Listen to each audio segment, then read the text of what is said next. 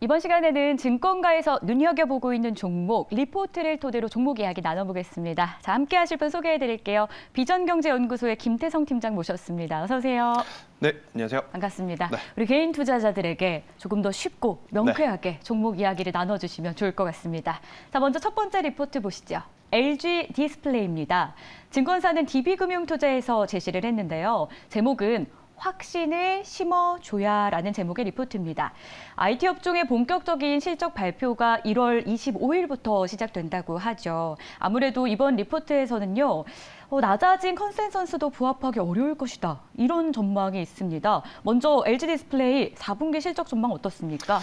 네, 일단 뭐 정확한 수치는 뭐 까봐야 알겠죠. 네. 아, 실적은 뭐 까봐야 알겠습니다만은 일단 예측치를 놓고 보면 4분기 매출이 약 7조 9,120억 원 그리고 이제 영업 손실 같은 경우에는 8,240억 원으로 우리가 생각한 것보다도 더 좋지 못할 가능성이 높다라는 이야기가 지금 지배적입니다. 그런데 LG 디스플레이가 참 희한한 기업이라는 표현이 맞을까요? 그러니까 잊을만 하면 레포트가 나오고 네. 잊을만 하면 또 좋은 이야기가 있을 것이다라고 이 기대감을 주는 기업들 중에 하나이긴 한데 계속해서 좋지 못한 이야기들이 지금 많습니다. 일단 4분기 실적에 대한 부담감이 있고 또 이제 POLED의 이 본격적으로 이제 모바일 부분이 개선이 되긴 하나 지금 현실적으로 수요에 대한 부담감은 여전히 남아 있는 상황이거든요. 그래서 이제 POLED가 들어간다 하더라도 전방 산업에서 많이 팔릴 것이냐 아니면 많이 팔지 못할 것 이냐 이 부분이 가장 큰 아킬레스건 혹은 주요한 포인트가 아닐까라는 생각이 듭니다. 일단 LG 그룹주 특히 LG 디스플레이 하면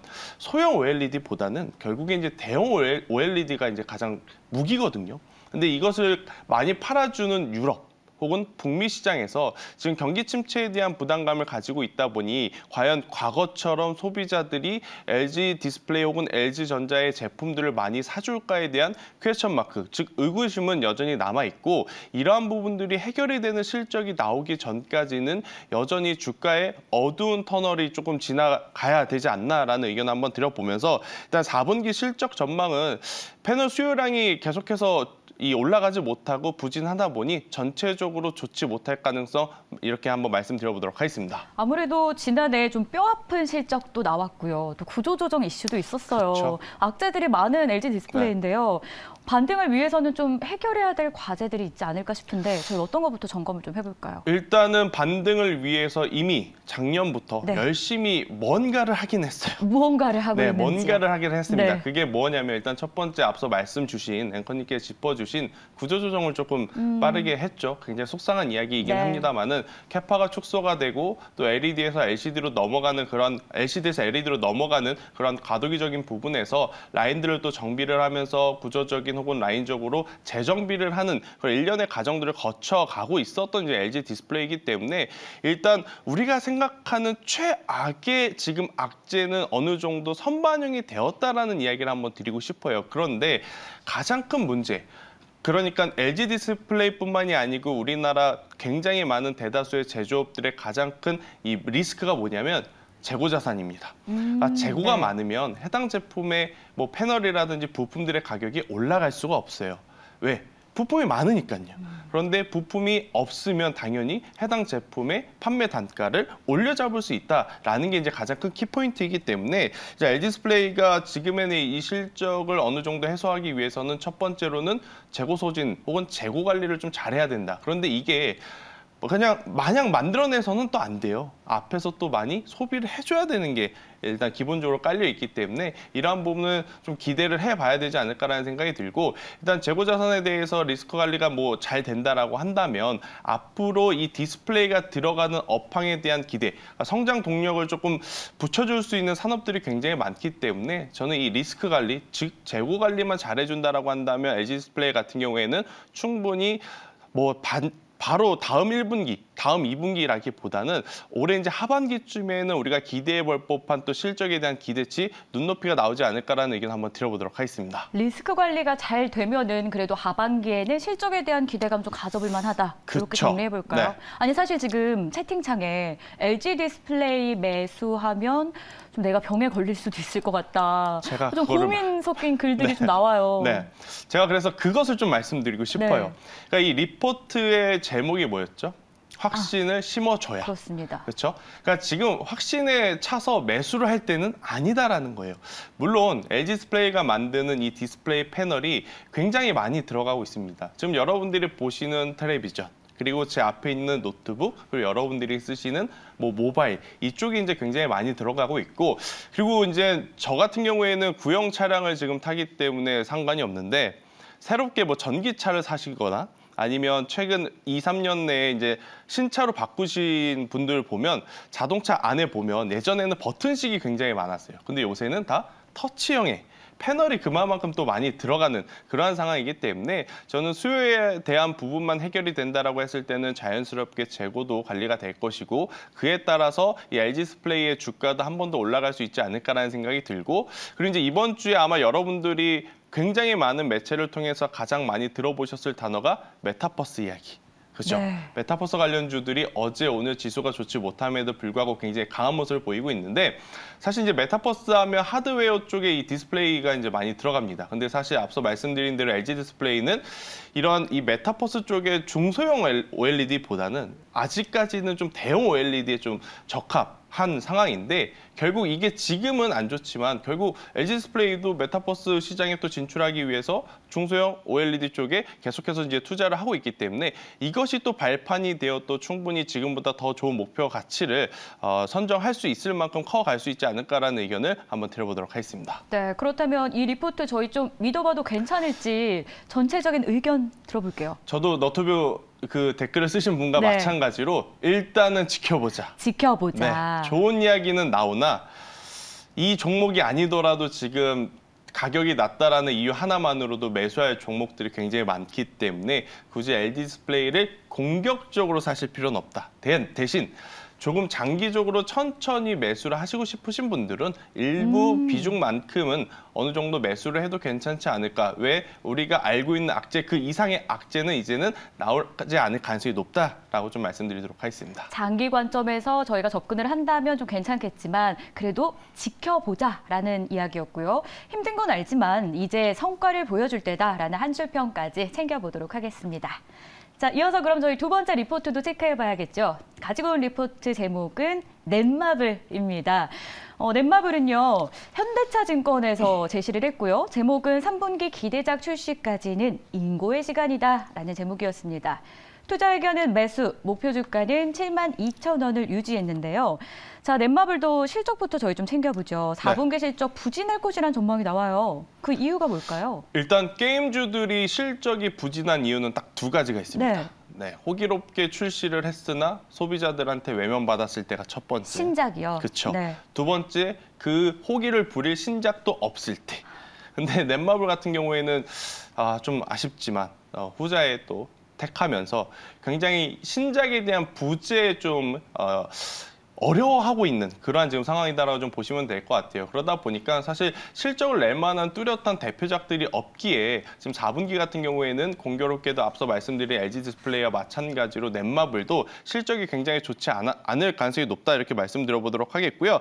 4분기 매출이 지금 약 7천억 원 좀 잡히고 있고 영업 손실 같은 경우에는 약 189억 원 정도가 잡힐 가능성이 굉장히 높은데 저는 오히려 이렇게 좋지 못한 결과 성적표를 미리 받는 게 낫지 않을까라는 생각이 들더라고요. 레포트를 읽으면서. 어, 왜 그러냐면 지금 게임 산업 전반적으로 지금 작년에 좋은 뉴스가 연말에 하나 터졌죠. 바로 이 판호 발급, 네. 외자 판호 발급. 넷마블 같은 경우에는 기존에 세 가지 게임의 아니, 기존 이 세 가지 게임의 외자 판호 발급을 지금 받은 상황이에요. 그렇게 된다라고 하면 올해 출시되는 신작까지 외자 판호 충분히 기대해 볼 수 있고 그렇게 된다 했을 때는 당연히 지금 이 실적을 기저 효과, 즉 발판 삼아 더 좋은 성과를 낼 수 있는 요소들이 굉장히 많지 않을까라는 생각이 들어서요. 저는 이 4분기 실적 부진에 대해서 LG 디스플레이는 확인이 필요하지만 넷마블 같은 경우에는 오히려 이것을 역, 이용해야 될 때가 아닌가라는 생각이 이 리포트를 보면서 제가 들었다라는 의견 한번 드려보도록 하겠습니다. 그런데 이 리포트 제목을 보면 3분기 기대작 출시까지는 인고의 시간이잖아요. 그러니까 말 그대로 네. 3분기에는 무언가 나올 것이다라는 그쵸. 이야기인데요. 올해 신작 어떤 것들이 좀 예정이 돼 있나요? 핫한가요? 아, 일단은 제가 게임을 그렇게 좋아하는 어, 네. 또 투자자는 아니에요. 그래, 그래도 저 같은 사람도 알 정도로 아마 모두의 마블? 알죠. 아, 알고 모두의. 마블 알 것 같고 또 이제 이 TV 광고에도 좀 많이 나왔던 네. 게임인데 제2의 나라.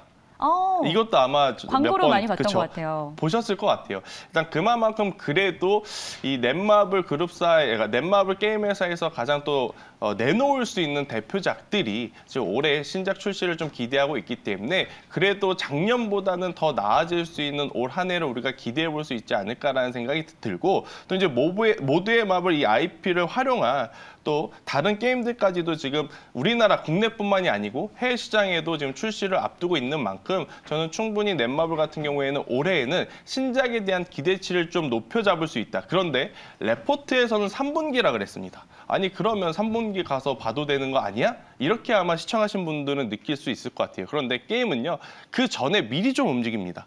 아마 여러분들 게임주들하든지 영화주들 이런 이야기 많이 들어보셨을 것 같아요. 출시를 했는데 혹은 개봉을 했는데 왜 주가가 떨어져요? 그러면 많은 분들이 재료 노출에 따른 차익 실현 어, 이런 이야기 많이 네. 드리잖아요. 게임이라든지 영화 산업 같은 경우에는 그 전에 기대감에 오르는 부분들이 더 많기 때문에 저는 만약 3분기 실적에 3분기 신작에 대한 기대감을 가지고 있다면 현재 구간에서의 투자를 해보는 것도 굉장히 좋지 않을까라는 의견을 한번 드려보도록 하겠습니다. 네, 뭐 모두의 마블 이야기도 나왔는데 MMORPG는 없나요, 넷마블은?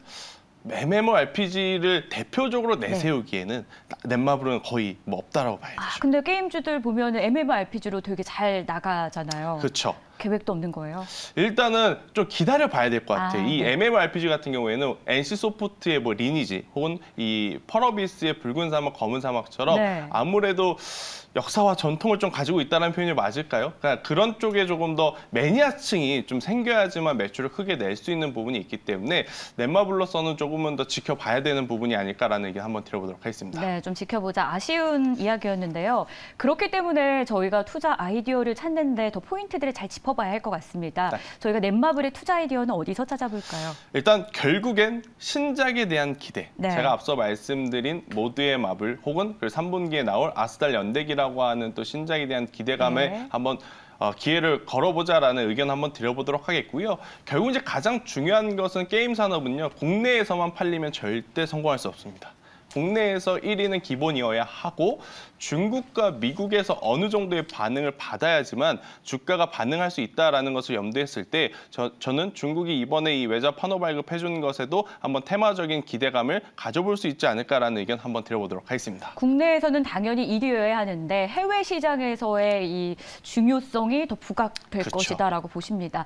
파노 이야기 해주셨어요. 이 네. 외자 파노란 뭔지 또 게임 잘 모르시는 분들도 있어서 간략하게 좀 설명해 주세요. 일단 이 중국에서 우리나라 게임을 할 수 있으려면 네. 그 판호를 발급을 받아야 돼요. 그러니까 기존에 지금 작년에 그러니까 이번 외자 판호 발급 이전에는 이 펄어비스의 네. 앞서 말씀드린 검은 사막, 붉은 사막이 마지막으로 외자 판호 발급을 받았어요. 오. 그리고 나서 거의 1년 6개월 만에 다시 이제 이 판호 발급을 해준 거거든요. 그럼 그 사이 없었습니까? 그렇죠. 없었죠. 어. 그러다 보니까 게임사들이 큰 돈을 벌 수는 없었습니다. 네. 하지만 그 사이에 NFT라는 또 테마가 있었고 뭐 코인과 함께 이제 같이 네. 움직이면서 주가는 많이 움직였는데 본업에서는 성장세가 그다지 두드러지지 못했지만 아, 이번에 점이네요. 그렇죠. 이번에 그 아쉬움을 좀 털어낼 수 있는 일단 자리는 마련을 해놨다. 그렇기 때문에 게임만 잘 만들어서 출시를 하고 그 게임이 흥행만 되면 저는 굉장히 좋은 모습 보일 수 있지 않을까라는 의견 드려보도록 하겠습니다. 자 그렇다면 넷마블 저희 이 리포트 믿어봐도 괜찮을까요? 네, 일단 저는 넷마블은 믿어보자. 이렇게 한번 말씀드려보도록 하겠고 사실 넷마블 하면 지금은 좀 덜하지만 과거에는 이 빅히트 아시죠? 네, 지금은 하이브. 하이브의 이제 최대 주주로서 사실 게임사보다는 이 방탄소년단의 좀 후광을 받는 그러한 기업 중에 하나로 인식이 됐는데 이제 본업으로 좀 평가를 재평가 받을 때가 되지 않았나라는 의견 드려보도록 하겠습니다. 네, 한 줄 평도 읽어봅니다. 지금이 기회라면 기회다라고 이야기를 해주셨는데요. 사실 많은 분들도 넷마블은 이 게임 회사라기보다도 뭐 투자를 좀 더 열심히 맞아요. 하고 있지 않느냐 뭐 이런 이야기들이 나오고 있는데 앞으로는 본업에 조금 더 충실하면서 이 시장 안에서 발을 좀 뻗어 나갈 것이다 이런 기대감에 대한 이야기를 나눠봤습니다. 네, 이렇게 해서 두 가지 리포트 확인해봤고요. 지금 이 시간 비전경제연구소의 김대성 팀장과 함께했습니다. 고맙습니다.